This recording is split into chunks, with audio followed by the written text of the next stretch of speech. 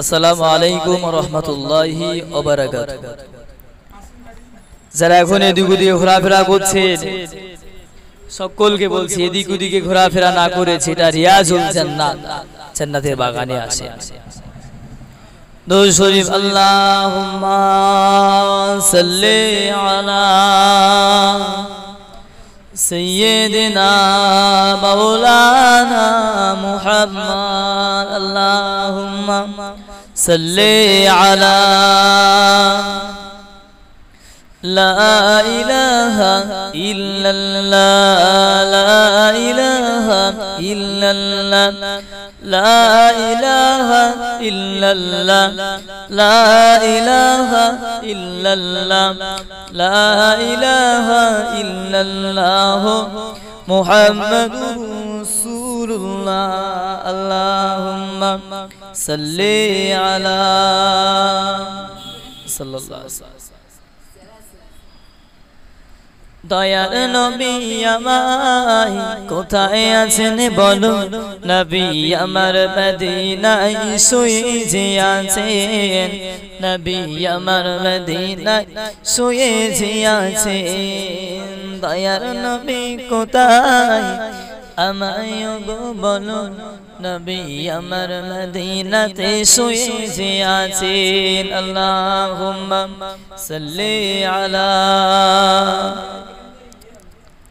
তো ভাইরা সকলে নবী পাকের প্রতি সালাতু সালামের নজরা বাটায় টুরে দাঁড়া দাঁড়া ইয়া নবী সালাম আলাইকা ইয়া রাসূল সালাম আলাইকা ইয়া হাবিবি, সালাম আলাইকা। তাই ফেরে দুষ্ট ছেলেরা অনবিকে পাগল ভাবিয়া মারিল পাথর। أو سڑی يا نبي سلام يا رسول سلام يا حبيبي سلام وعليك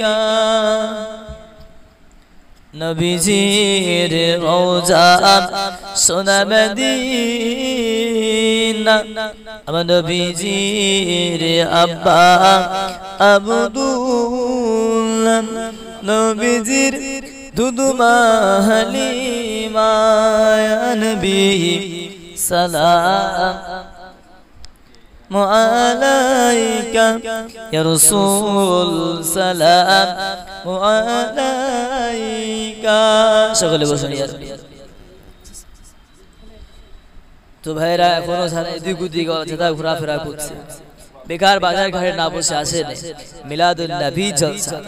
এই জলসার দিকে ধাবিত হয় গুটি গুটি বা এই জলসার দিকে আসে তো আজকে জলসার সম্মানিত সভাপতি সাহেব এবং গ্রামবাসী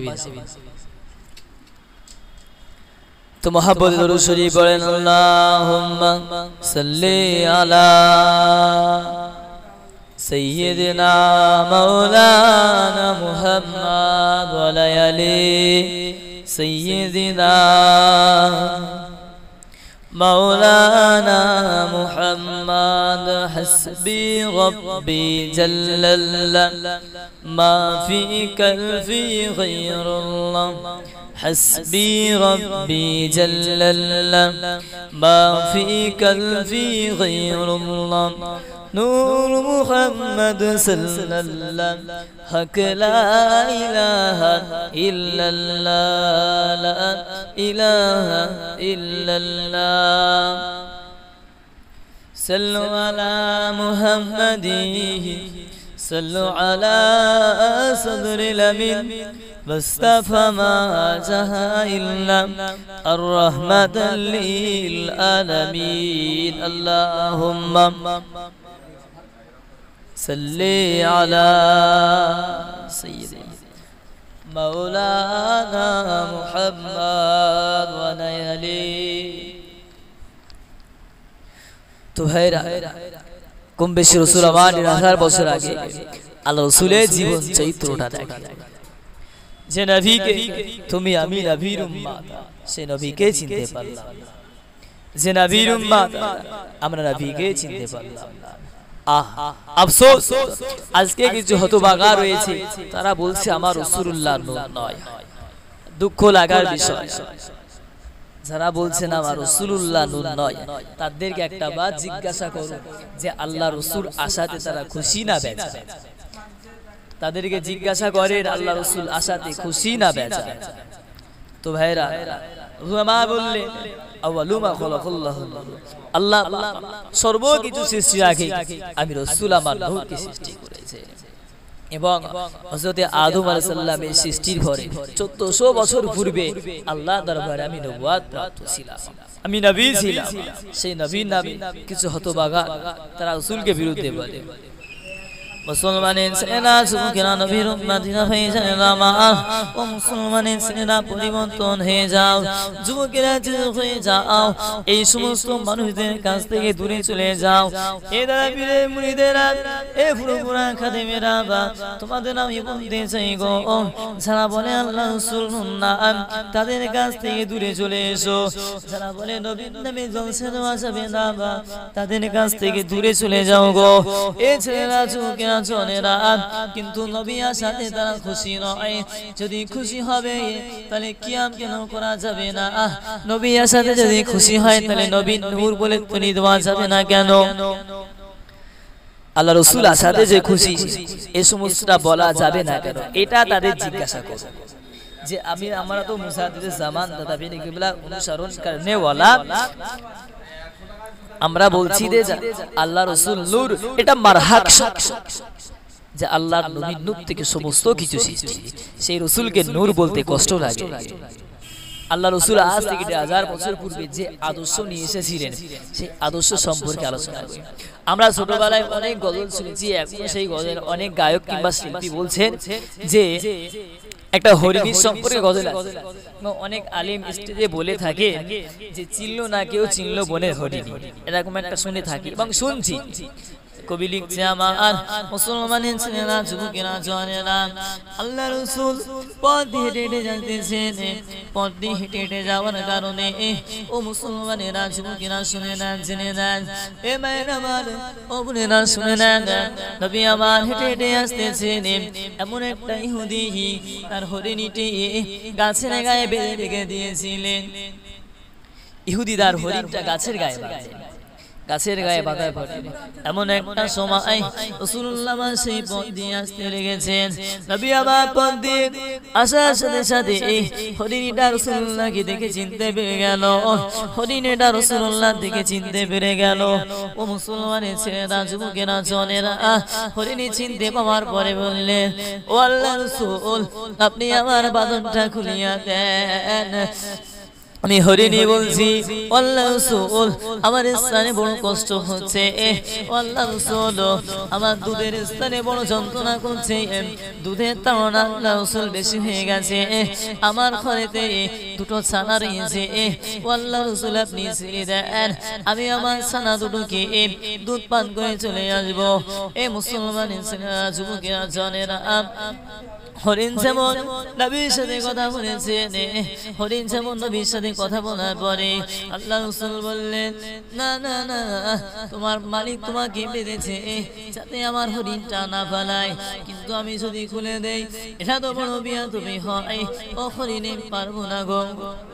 হরিণী বলছে ও আল্লাহ রসুল ও আল্লাহ রসুল আপনি আমার দড়ি খুলে দেন। আমি হরিণী কথা দিচ্ছি। আমার বাচ্চা দুটোকে দুধ পান করে আমি হরিণী যথারীতি সময় চলে আসব। মুসলমানের ছেলেরা যুবকেরা নবীর উম্মাতির আমার রাসূল বললেন এ হরিণী তোমাকে আমি ছেড়ে দিচ্ছি গো। কিন্তু তোমার আবার যথারীতি সময়ে চলে আসতে হবে। নবী আমার গাছের গোড়ায় হরিণীকে ছেড়ে দিয়ে জামিনদার হয়ে দাঁড়িয়ে গেলেন। এবারে হরিণ দৌড়ে বাচ্চাদের বললেন হরিণীর ডাকে ডাকছেন বাচ্চারা তোমরা আমার দুধটা পান করে যাও গো। বাচ্চারা বলছে আম্মা জানে কেন আপনি এত স্পিডে এসে গেছেন হরিণী মা বল বলছে হে বাচ্চারা, আমরা যে মানুষটাকে গাছের গায়ে দাঁড়িয়ে করেছি। তিনি হলেন রহমাতুল্লিল আলামিন। তিনি মানব জাতির নবী। আল্লাহ যাকে ভালোবাসে, যে নবীর সিলাই সবই কিছু সৃষ্টি। সে নবীকে জামিনদার রেখে এসেছি। কিন্তু নবীকে জামিনদার হয়ে যখন ডাকলেন হরিণ বলছেন বাচ্চার তোমরা দুধটা তাড়াতাড়ি পান করো। ওই মানুষটাকে তোমরা চেনো না। বাচ্চা দুটো বলতে লেগেছেন "ও আম্মা জান হরিণের, আমরা আপনার দুধের স্থানে মুখ লাগাবো না কেন না ওই মানুষটাকে না দেখা পর্যন্ত ও আপনার মুখে আমরা স্থানটা লাগাবো না আপনার দুধটা পান করতে পারব না। হরিণী বলছে হে বাচ্চারা তোমরা চলো একটু স্পিরিটে আমার রসুল্লাহর কাছে চলো। কেন না আমার রসুল্লাহ উনি দাঁড়িয়ে আছে এমন একটা সময় সেই ইহুদি এসে দেখছেন যে তানার হরিণীটা নেই ইহুদি দেখে বলছেন এ মোহাম্মদ এখানে যে হরিণীটি বাঁধা ছিল হরিণীটি কোথায় বলতে পারো? নবী আমা বলছেন তোমার হরিণীকে আমি একটু ছেড়ে দিয়েছি। বলছেন কেন ছেড়েছো? বলছে তোমার হরিণীর দুটো বাচ্চা আছে আমাকে বলল তাদের দুধ পান করাবে। এমনকি দুধ পান করানোর সাথে সাথে আমি তাদেরকে ছেড়ে দিয়েছি। ছেড়ে দেওয়ার পরে তো তারা যথারীতি এখানে নিশ্চয়ই চলে আসবে। হরিণ মালিক বলছে আপনি ছাড়লেন আসবে তো। কিছুক্ষণ মুহূর্তে দেখার পরে হরিণী এবং তার বাচ্চা গেছে। মুসলমানের ছেলেরা, যুবকেরা, জনেরা হরিণী যখন বাচ্চারা চলে এলো, হরিণী বলে আমার বাচ্চারা দুধে স্নান লাগালো থাকো আপনাকে না দেখা পর্যন্ত তো। ও ছেলেরা, যুবকেরা, নবী আমার কত সুন্দর চরিত্র ছিল গো, নবী আমার এই দৃশ্যটা দেখে ইহুদি নবী বাগের হাতে হাত দিয়ে মুসলমান হয়ে গিয়েছিল। বাজরে বলেন না, সুবহানাল্লাহ। তাহলে নবী পাকের হাত দিয়ে হাতে মুসলমান হয়ে গিয়েছিল। তো ভাইরা আল্লাহ রসুলের চরিত্রটা খেয়াল করেন। আল্লাহ রসুল কেমন ভেগে শুয়েছে, সুলামার কেমন ভেগে শিখিয়েছে। আল্লাহ রসুল তেরো হাজার বছর পূর্বে আগে সুলামার কেমন জিন্দিগি কাটিয়েছিলেন।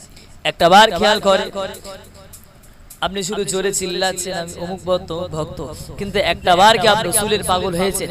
যদি আপনি রসুলের পাগল হন তাহলে একটা বার রসুল্লাহ জীবনী ভালো করেন আপনি যেটুকু পারেন, যেটুকু সময় শর্ট টাইমে পরে হুজুর এসে গেছেন করব। সময় আছে হাতে। তো তারপরে আপনি রসুল্লাহকে ভালোবাসেন যেমন রসুল্লাহ জীবনীটা খেয়াল করেন। রসুল বললেন, আমার কাছে ওই ব্যক্তিটি প্রিয় যে অধিক চৈত্রবান আল্লাহ রসুল কাছে কোন দল প্রিয় রসুল আমার খাস করে বলেছেন যে আমার উম্মাদ আমার কাছে ওই দলটি প্রিয় যে দলটির আমি রসুল আমাকে ভালোবাসবে আমার সুন্নতকে তারা আঁকড়ে ধরবে। এবং আমি রসুল আমার সাহাবাদে ভালোবাসবে ওই দলটি আমি রসুল আমার কাছে তো ভাইরা সে রসুলকে ভালোবাসতে শিখেছে। বারবার বলছি রসুলের কাছে প্রিয় হলো ওই ব্যক্তি রসুল বলছেন যে স্যার অধিক চৈত্রবান সেই আমার কাছে। তো ভাইরা ভুল এটা মাঝে আল্লাহ পাক রব্বুল আলামিন সকলকে শোনার থেকে বেশি বেশি আমল করার মতো তৌফিক দান করুন। সকলে বলি আল্লাহ আমিন। ভুল ত্রুটি মার্জনীয় এবং ছোট ভাই হিসাবে আমি হাড়োয়া খারিজি মাদ্রাসায় এখন তলিবুল এলিম ছাত্র। এবং আমরা সকলে দোয়া করে মহান রব্বুল আলামিন আল্লাহ। আমাকে আলেম না করলেও যেন জালেম না তৈরি করে।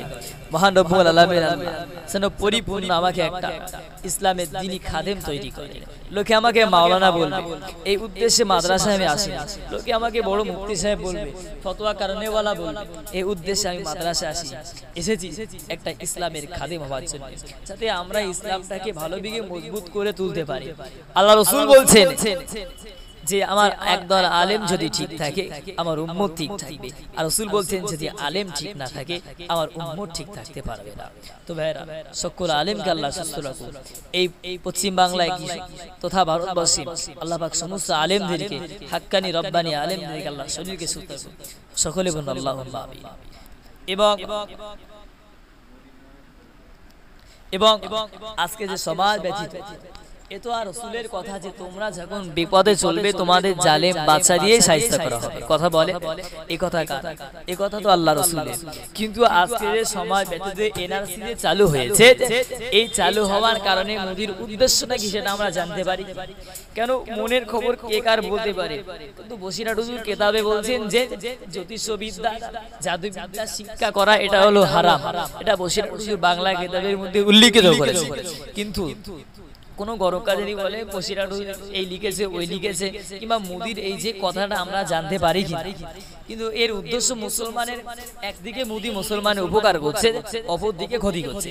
আপনি খবর নেন, অন্য অন্য জায়গায় মুসলমানদের বিশাল প্রিয় হয়েছে এবং এই পশ্চিম বাংলা, উত্তর চব্বিশ পরগনা, দক্ষিণ চব্বিশ পরগনা, অল ভারতবর্ষে মুসলমানদের ক্ষতির পথ দাঁড়িয়েছে আপনি মনে করবেন যে আমরা ভোটটা কাকে দেব?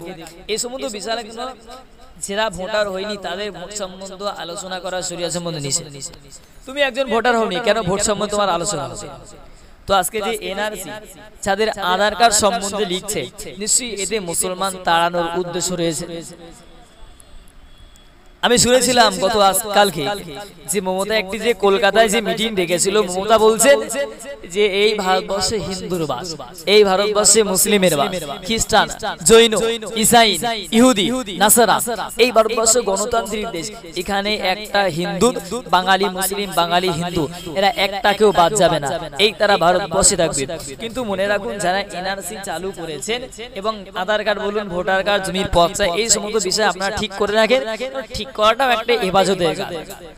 কেন না জানি জালেম বাদশা তো কিছু বলা যায় কখন কি করে জালিয়া তার আগে আপনার পরিবর্তন হয়ে না। যাদের ভুল আছে সংশোধন করেন কিছু করার নেই। কেন এ তো আমাদেরই ঘাটতি। রসুল বলছেন আমার উম্মত ঠিক নেই তো জালেম বাঁচা দিয়ে আল্লাহ সাজেস্তা করবে। তো ভাইরা আমরা সারা এখন ওই এনআরসি যে মুদি চালু করেছে এটা যেতটুকু বাড়ি আমরা সংযুক্ত করে নেই। কেননা কখন কি হবে? এই গণতান্ত্রিক দেশ এখন তো মোদির হাতে সবকিছু। কিছু বলার নেই। তো ভাইরা যারা এনআরসি চালু করছেন, এই বেলা আমরা সম্পূর্ণ সঠিকটা করে নেন। কেননা জালিম বাদশাহ, কিছু বলার নেই। বারবার বলছি, আপনারা ইমান ঠিক করেন। ইমান এক রাখেন ইমান ঠিক থাকলে সব ঠিক থাকবে। আপনি সঠিক পথে চলেন আপনার আল্লাহ চাইলে কিছু হবে না। অনেকে বলছে যে পশ্চিম বাংলায় কিছু হবে না কিছু হবে না। কিন্তু আপনি ভাবেন এখানে আমি বলছি যে মুসলমানের চাপ বেশি। কিন্তু আপনি বাইরে যান মথুরাপুর যান কিংবা নদিয়া যান সেখানে কি সেখানে তো গুটি কঠোর মুসলমান বাদ বাকি হিন্দু। তাদের অবস্থা কি? আমরা বলছি আসুক মোদিয়ে কমেনে যাবে তো পশ্চিম বাংলায়। তো অনেক মোদা রয়েছে। থাক মোদা কিন্তু আপনি তো সপ্তাহে থাকবেন আপনি যেটুকু পারুন সাবধানে থাকুন। আমার বক্তব্য বিষয়। তো ভাইরা যেটা বক্তব্য ছিল যে রাজনৈতিক সম্বন্ধ আমরা কেমন বিঘে ভালো বিঘে চলবো এটুকু লক্ষ্য রাখব কেননা মহান আল্লাহ পাক রব্বুল আলামিন কোরআনে বললেন জালেম বাদশা দিয়ে সুদা করব এ তো আমাদের পাপের পাশেই তো এটা। তো ভাইরা ভুল দুটি মাঝুন সকলে একবার দুরূদ শরীফ পড়ি আল্লাহুম্মা সাল্লি আলা সাইয়্যিদিনা আসসালামু আলাইকুম ওয়া রাহমাতুল্লাহ ও আসে